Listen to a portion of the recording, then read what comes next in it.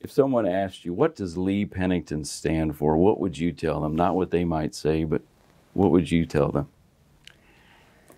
I think I stand for uh, love of humanity. Okay.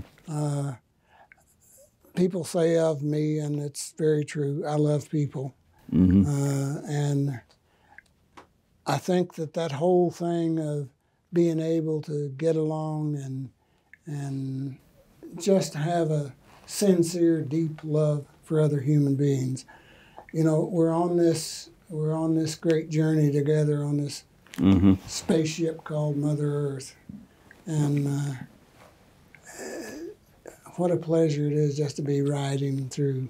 hmm And we don't really know what it's all about, but we, we think we do. Oh, we know a little bit, but Mhm. you know, as the Hispanics say, poquito.